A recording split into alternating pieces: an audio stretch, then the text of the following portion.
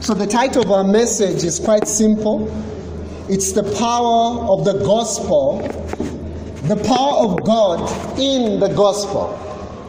What is the power of God in the gospel? How does God liken his power? Does God's view of power equal to our view of power? What do you say? God's understanding of power, does it equal our view of power? Yes or no? If you say yes and if you say no, you need to have a reason. Amen? So today we're talking about the power of God in the gospel. The power of God in the gospel. So begin reading from the Bible. We read Romans chapter 1. Romans chapter 1, we're going to read verse. We'll start from 15 up to 17. If you're there, say amen.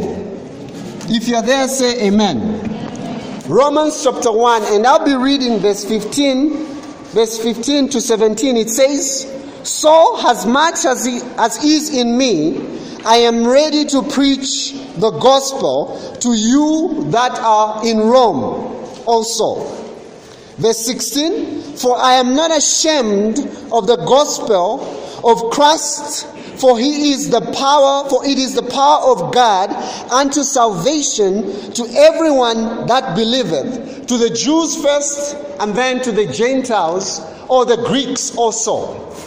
So Paul is saying he is ever ready to preach the what? To preach the what?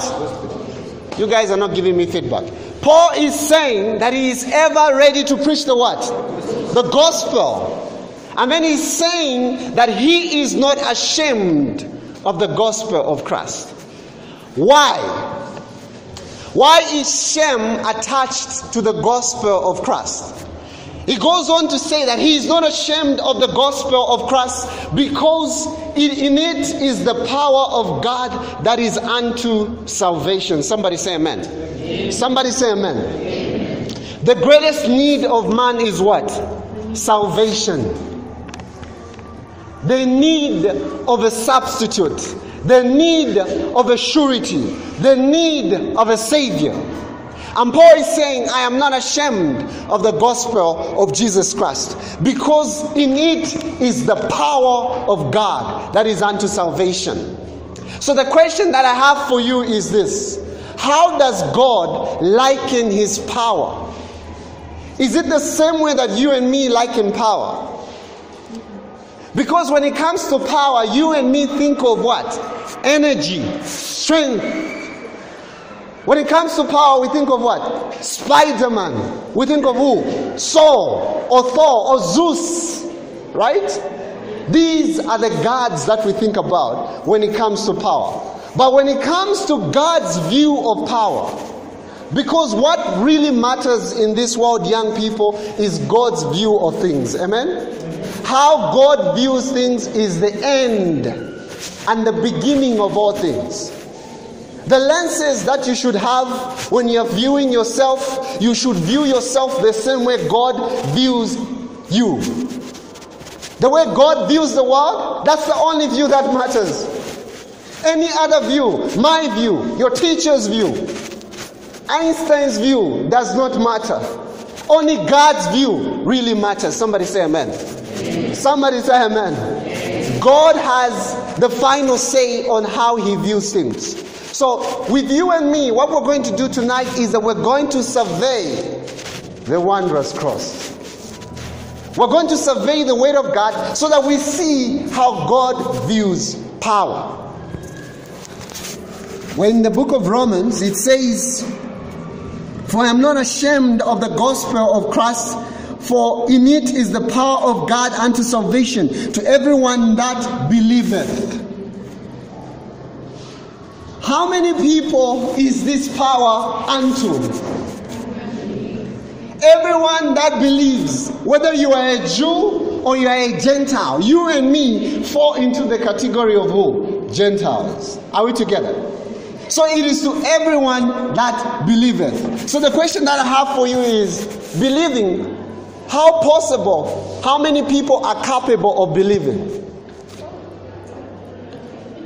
How many people are capable of being believers? Everyone. Are we together? Are we together? What does it take for one to be a believer? They need to hear the gospel. are we together? Let's read the Bible.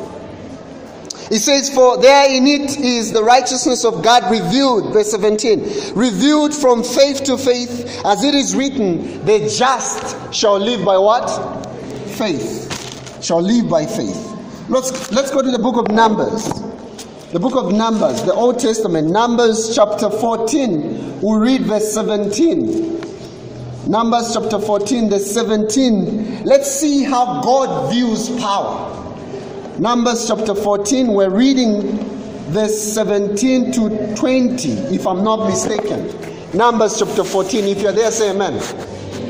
If you're there, say amen. Some of you are saying amen because you're looking at the screen, not because you are there, because you don't have your Bibles. One day the screen will not be there. What will happen to you? Okay, so let's read the Bible. It says, should I read from the screen or from the written word? Okay, from the written word it is. It says, verse 17, And now I beseech thee, let the power of my Lord be great according to thou that you have spoken, saying, so, Moses, let me give you the scenario of what is happening here. The context. Moses, God is about to destroy the children of Israel because they have chosen other gods. Are we together? He's about to destroy them, and he says to Moses, Moses, out of you I will make a great nation. For these people are a rebellious people. They have rebelled against me so many times, but out of you I will make a great nation. Is that a good proposal? Imagine God speaking to you. He says, Out of you, I am going to make a great nation and I'm going to destroy everybody else.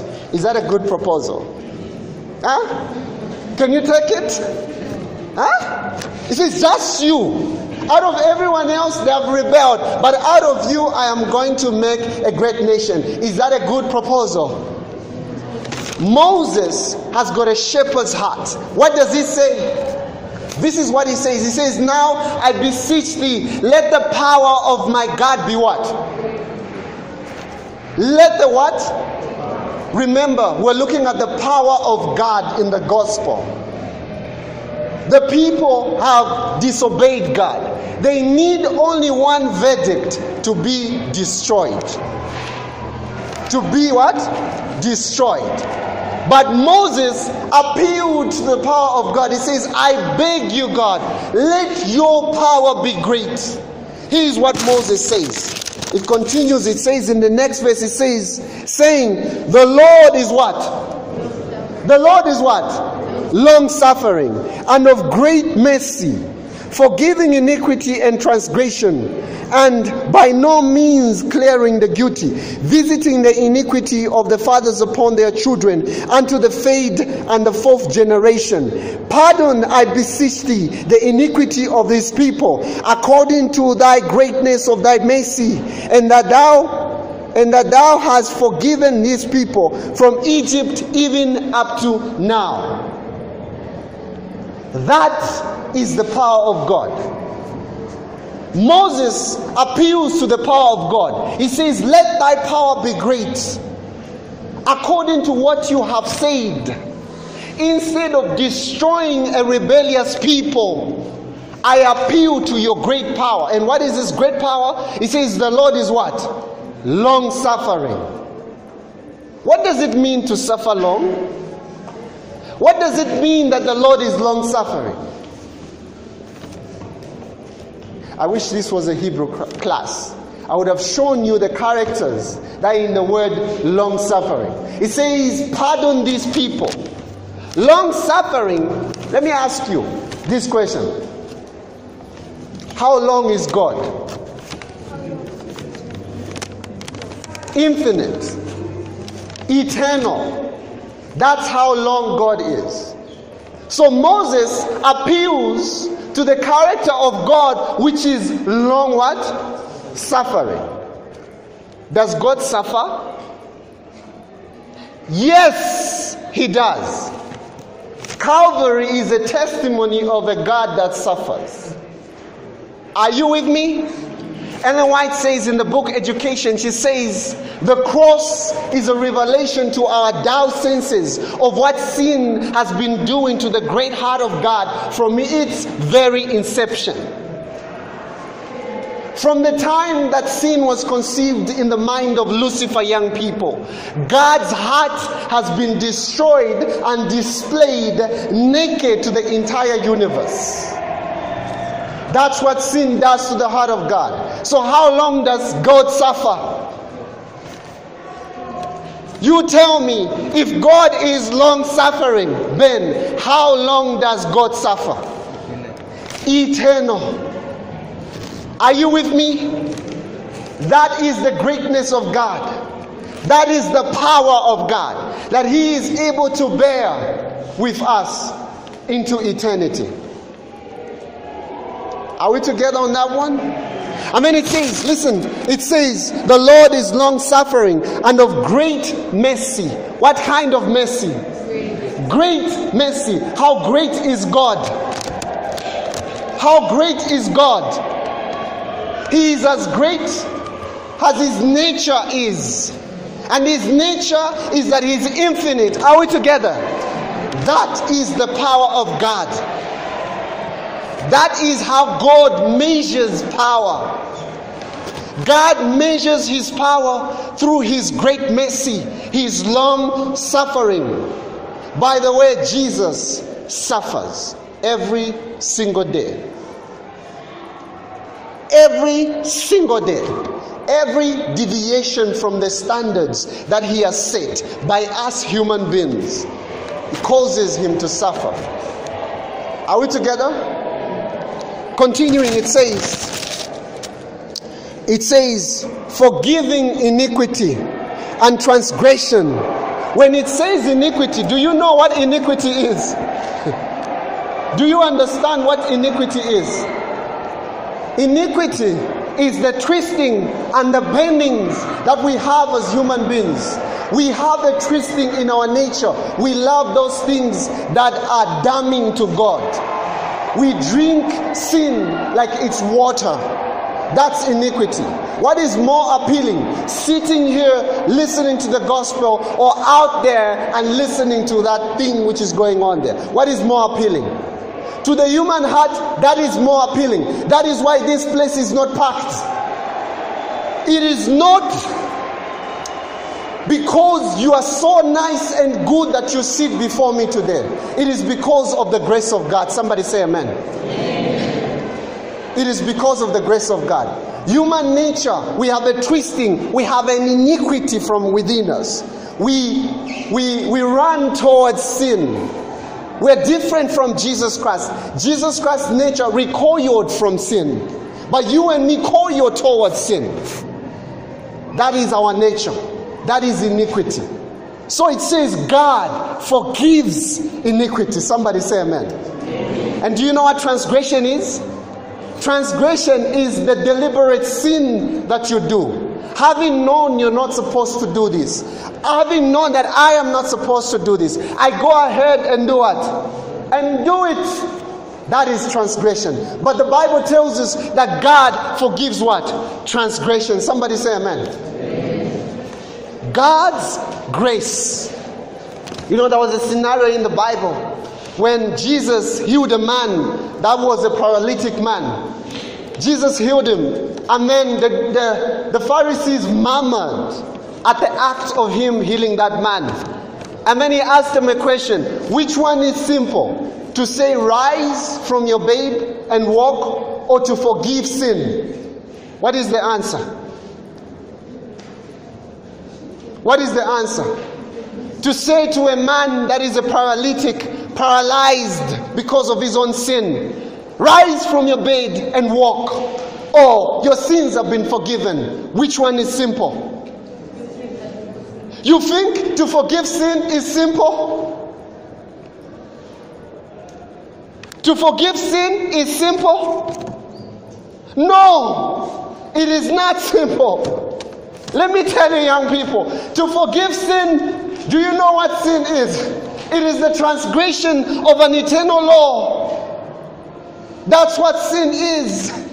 It requires somebody infinite and eternal to die and appease the broken law. And that is simple. The death of a God is simple. Which one is simple? Rise from your bed and walk is simple. To forgive sin, to bridge the gap. Do you understand? Listen, do you under, if if you really want to understand how deeply a sinner you are, is check the chain that has been lowered down to rescue you. How long is it? Do you know what the chain is? It is Jesus. He's infinite. It's an infinite chain. Listen, the Bible says, for the wages of sin is what?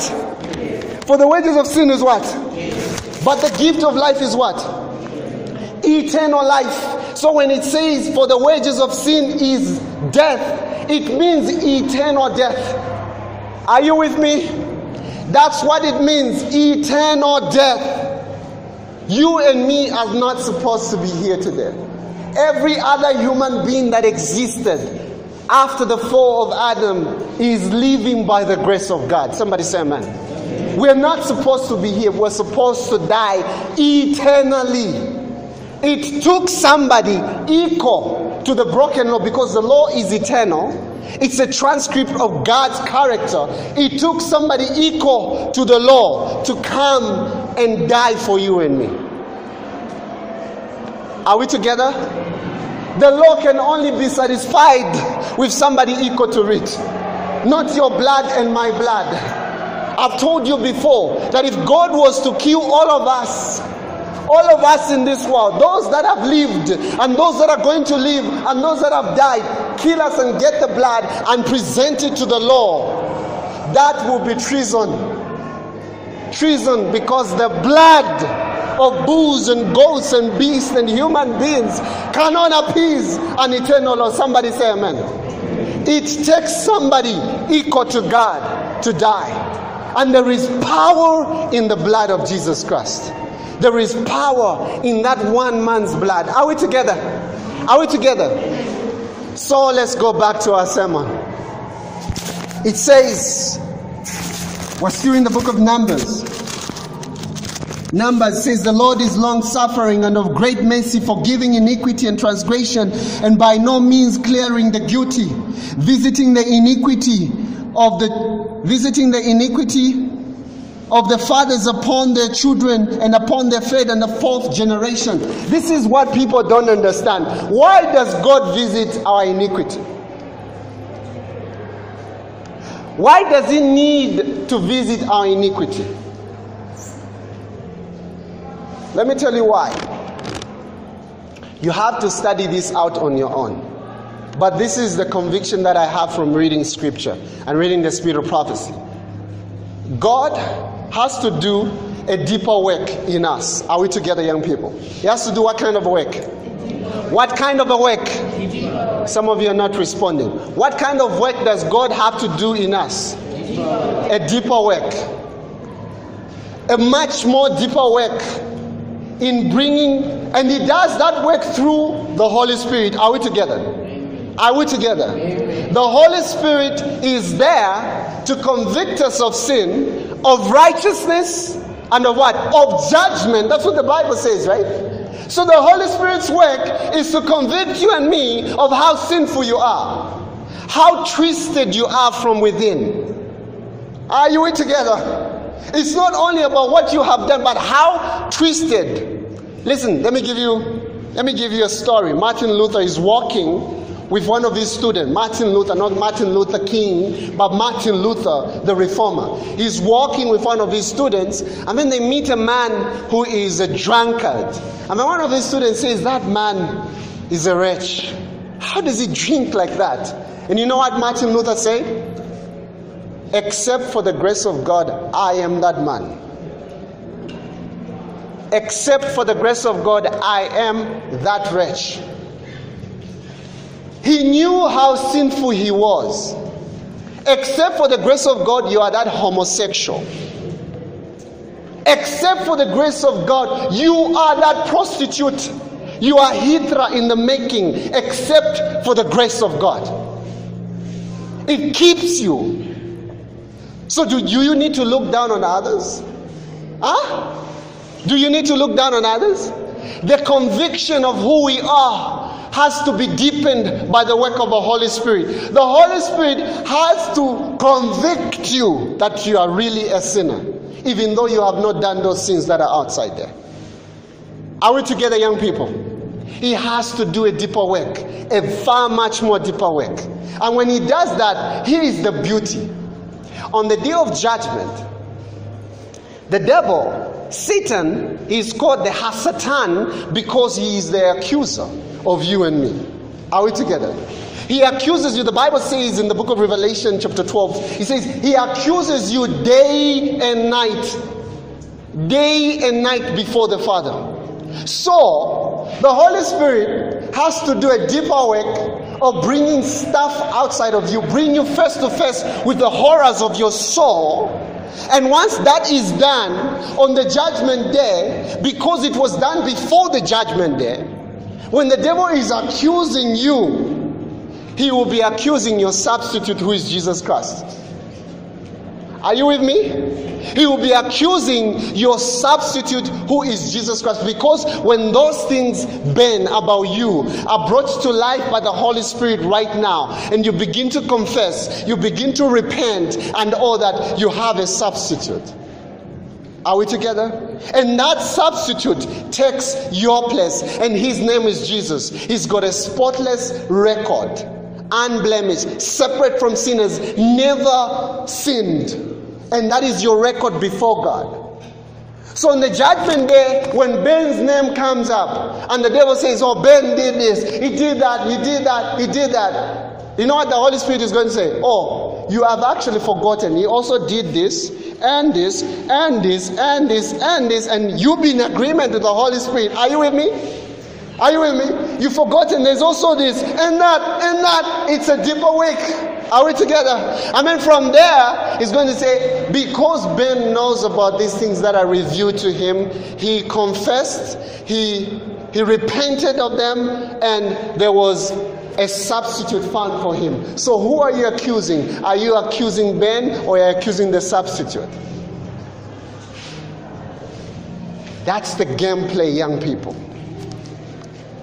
So, when I'm convicting you of your sins, when Jesus Christ, when you hear the word that I'm speaking and the Holy Spirit is talking to you about your sins, you need to agree with the Holy Spirit. Are we with me? Are you with me? By the way, Ellen White says, holiness is agreement with God. Huh? Holiness is what? You need to agree with God. I need to be in total agreement when God convicts me of me. And he tells me this is, and I need to love the work of the Holy Spirit. His plumbing work. Listen, the work that the Holy Spirit does is not a very nice work. Are you with me? It's like a plumber that comes to you and starts removing the sewer lines and touching all that. Nobody wants to be near the plumber, right? It's a filthy work. He has to do the filthy work in your life. That's the work of the Holy Spirit, and you need to be in agreement with Him to bring everything outside of you and say, Listen, this is who I am. Yes, yes. And agreeing with God about who you are brings about holiness because there will be a substitute given unto you. The minute you're arrogant, and say, you know what, I'm not those things, I'm not those things, you will start fighting the Holy Spirit. You end up committing what is called the unpardonable sin the unpardonable sin. You end up grieving the Holy Spirit. Are we together? So God has to visit your iniquities. He has to visit our iniquity, my iniquities, the twistings of me. He has to. And you have to be in agreement with Him. Are we together? Are we together, young people? I know you're looking sad, but this is good news. Huh? This is good news. Are we together? This is what the gospel means. Let's go ahead. Let's read the, the verses. It says, Pardoning also, I beseech thee, the iniquity of these people, and according to thy greatness of thy mercy. We've already read this. It says, Forgive these people. Let's go to the book of Second Timothy. Second Timothy chapter 1. We're going to read verse, verse 8. Second Timothy chapter 1, verse 8. If you're there, say amen.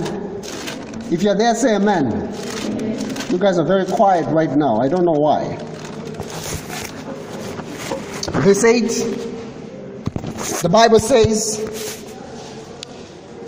Be not thou therefore ashamed of the testimony of our Lord, nor of me his prisoner, but be thou partakers of the afflictions of the gospel according to the power of God.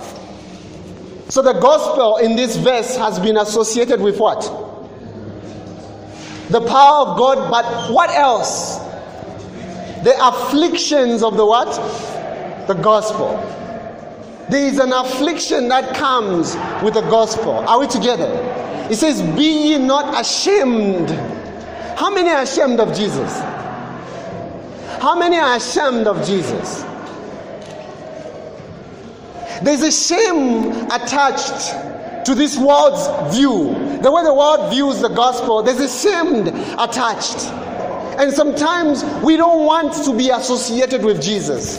We want to be associated. We wear shirts written Spider Man and all this. If we wear Jesus, it's in a hypocritical way.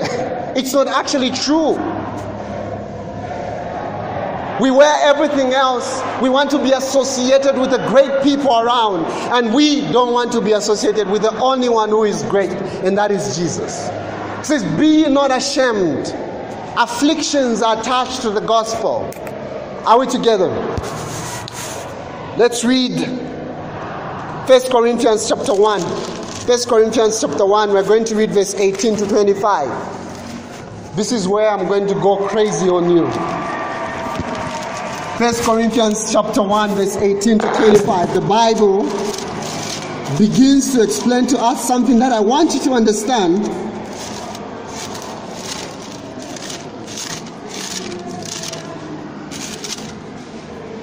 If you're there, say amen. Amen? Okay, so let's read the Bible. Verse 18 it says, For the preaching of the cross is to them that perish foolishness. But unto us that are saved, it is what? It is what? Do you hear that? The preaching of the gospel is to them that are lost. It is what? Foolishness. But unto us that are saved, it is what? The power of God. He continues, he says, For it is written, I will destroy the wisdom of the wise, and I will bring to nothing the understanding of the prudent. Verse 20 Where is the wise? Where is the scribe? Where is the disputer of this world? Has God not made the foolishness of the wisdom of this world? Foolish the wisdom of this world. So God has done something with the wisdom that comes with this world, the philosophy that comes with this world. God has turned everything else to be foolish. Are we together? Are we together? It continues, it says, listen, for after that, in the wisdom, in the wisdom of God, the world by wisdom no, knew not God it pleased God, but by the foolishness of preaching to save them that believe. It is foolish for me to stand in front of you and preach. But it pleased God that via through what I'm doing today, to save them that believe and hear the testimony of what I'm giving you. It pleased Him. But He says, by wisdom, the world did not know who? God. Through the vain philosophy of this world, the world has not known God. So the world, the world will teach you a lot of things, but it will never. Science bows to the great I am. A science that is separate from God is not science at all. There is only one science, and that is the science of the cross. Somebody say amen. The science of redemption, the science of salvation. How a God from heaven can come and dwell in a human body. Can you understand that? Can your science explain that? Which man has ever explained the mystery of salvation? How Jesus can be 100% human and 100% God at the same time. Tell me which science will explain that. Which physics will explain that. Which biology can explain that. How a virgin young lady can have give birth to the Holy One of heaven. Tell me which biology can explain that. Science bows to the great I am. Bows to the great I am. It says, listen, the Bible continues, it says, it says, for the Jews require a sign. Yeah? You want to see a sign? You want to see, to feel the power, to feel something inside you. They require a sign. And then it says, the, the Greeks seek after wisdom. So they write all this book. The educational system of the world is a Greek educational system, trying to teach you this and that, trying to bring you knowledge and this, but to no avail if that is not attached with God. It says, but we preach who? Verse 23, it says, but we preach who? Do you hear me? It says, but we preach Christ Unto the Jews, he is a stumbling block. Do you know that Jesus Christ, even in the church of God, is still a stumbling block? Men will preach a lot of things, but they will never preach Jesus. You will hear a lot of sermons from here that will only add Jesus as an addendum at the end. It says, But we preach Christ, Him crucified. To the Jews, who are the chosen people of God, He was a stumbling block. How can a God be that poor? How can a God be born in a town which has got no reputation? How can a Messiah dress like that? A Messiah needs to come with all the host of the angels. To the Jews, he was a stumbling block and to the Greeks, foolishness. How does God die on the cross? But for God, that is the power of God that is unto salvation. And then it says, it says, because the foolishness of God is wiser than men, and the weakness of God is stronger than men. The foolishness of God, His way of doing things, sending a Savior to come and die for us, appears to be foolishness to others, but it is wiser than men. Are we together? Are we together? He says, the weakness of God. this is this verse is pregnant. He says, the weakness of God is stronger than men. So you see, you read the Old Testament, you see a God that is strong, that is able to part the seas and all this. And then you read the New Testament, God comes, he is born as a what? A little baby in the manger, seemingly powerless. He's born as a little baby in the manger. And then he's born in a manger. And no reputation place with animals, stinking place. He's born there. But while is born in a manger, angels come down from heaven and they're looking to see if the chosen people of God are acquainted with how the Savior would come. And when they look around, they don't see anyone else who's interested. And in their disappointment, as they are going and contemplating, they see only a small group of people talking about the Messiah. And those are shepherds, men of no reputation. And then they turn to the shepherds and they begin to speak to them and they say, Hey, be ye not afraid, for today unto you we bring unto you great joy. A Savior is born in Bethlehem today.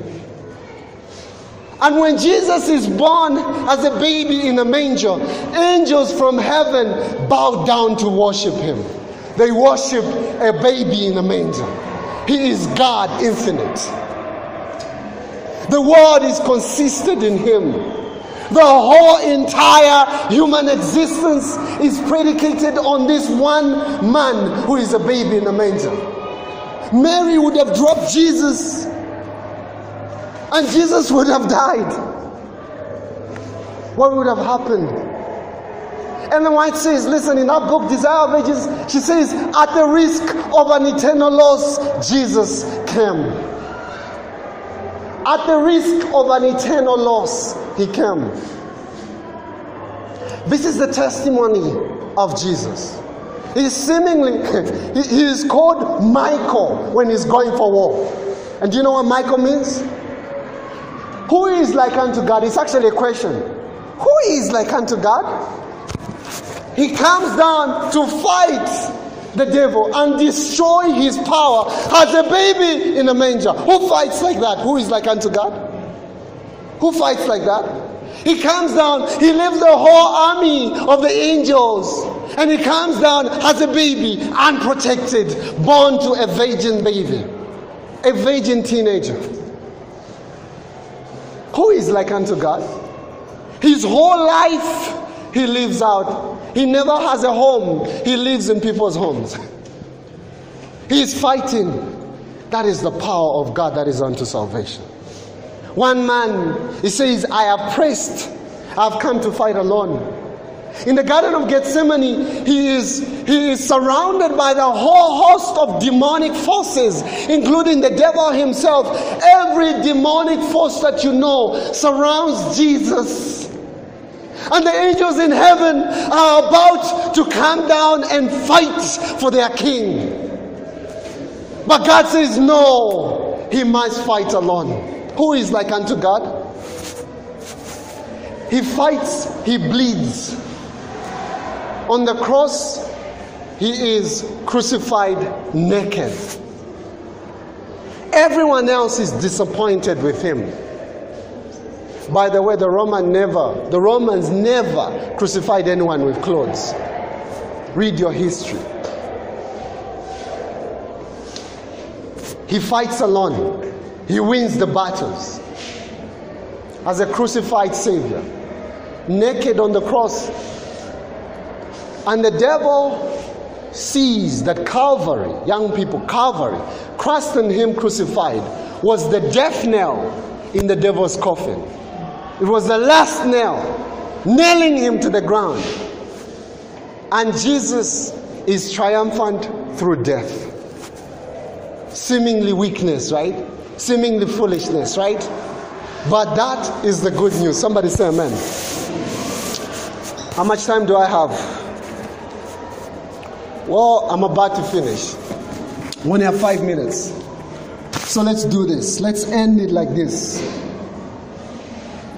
I want to read to you in Isaiah chapter. Let's go to the book of Isaiah. I've skipped a lot of verses, but let's go to the book of Isaiah. I want you to see something, Isaiah 53.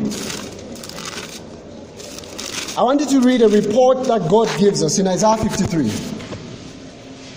If you're there, say amen. Are you there? Pay attention. It says, Who has believed our report? To whom is the arm of God revealed? When it says the arm of God, it's the strength of God. Are we together?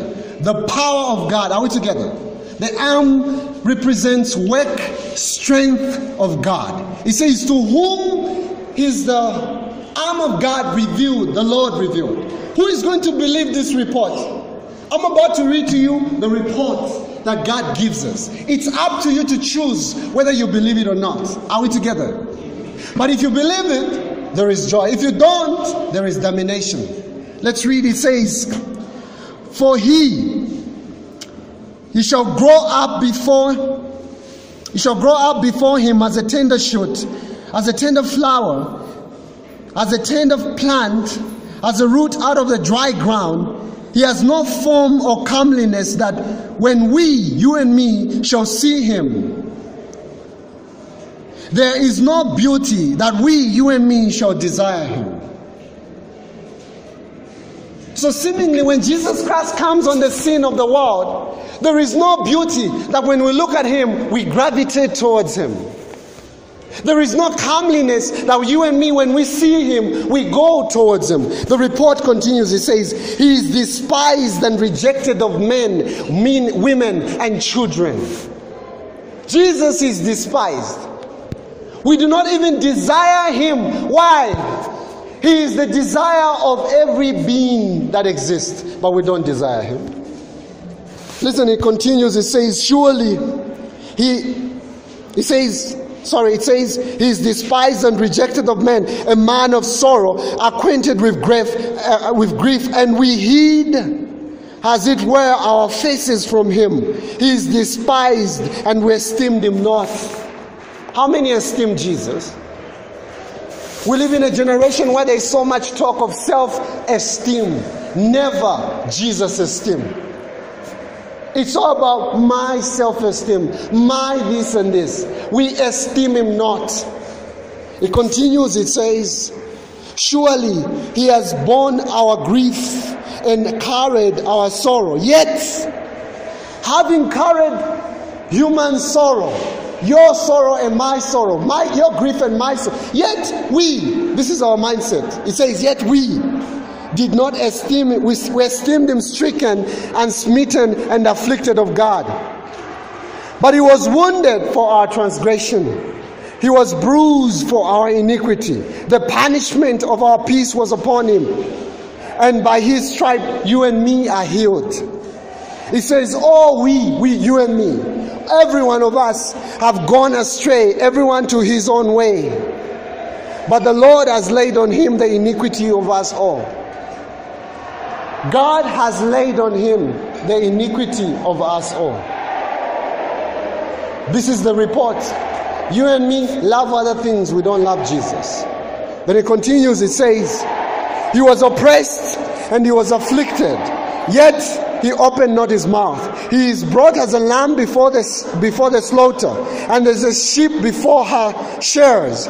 Yet he is dumb, and he opened not his mouth. He was taken from the prison and from judgment. Men handling God. Can you imagine? Human beings judging God. Yet he opened not his mouth. Seemingly weak, right? He's so weak, right? So gullible, right? Like we can just push him up. We can we can spit on Jesus anytime we want. Right?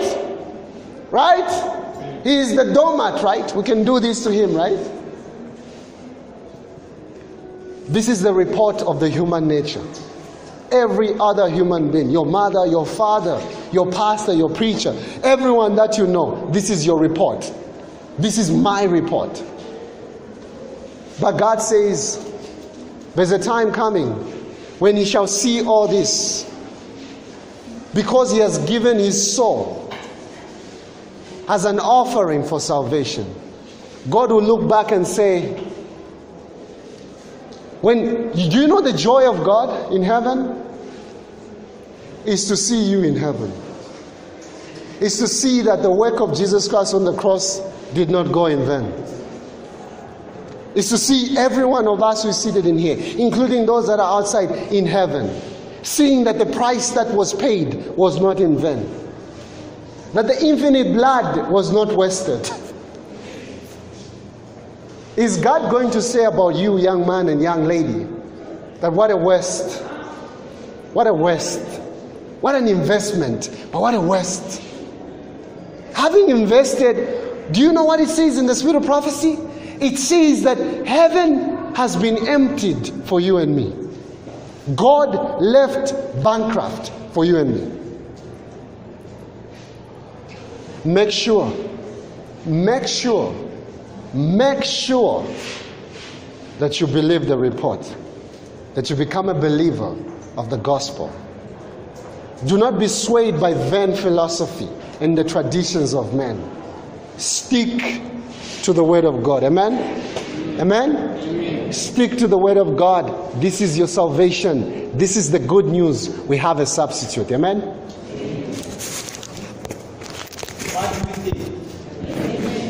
Do you say? Do you say?